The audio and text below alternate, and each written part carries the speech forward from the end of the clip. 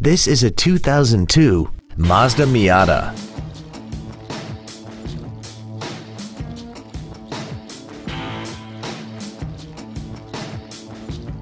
Its top features include an interior wind deflector, air conditioning, a rear window defroster, a CD player, a leather-wrapped steering wheel, a double wishbone independent front suspension, an engine immobilizer theft deterrent system, a passenger side airbag, a four-wheel independent suspension, and this vehicle has less than 47,000 miles.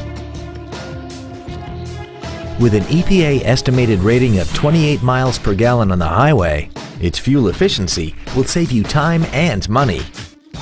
Stop by today and test drive this automobile for yourself.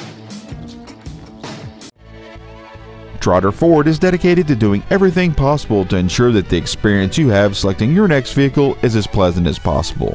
We're located at 3131 Olive in Pine Bluff.